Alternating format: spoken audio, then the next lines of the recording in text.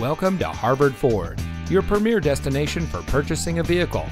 And here's a look at another one of our great vehicles in inventory and comes equipped with smart device integration, lane keep assist, driver monitoring, MP3 player, front collision mitigation, four-wheel drive, Bluetooth smartphone integration, steering wheel controls, stability control, passenger airbag, and has less than 60,000 miles on the odometer. Since 2003, Harvard Ford has been proudly serving our community.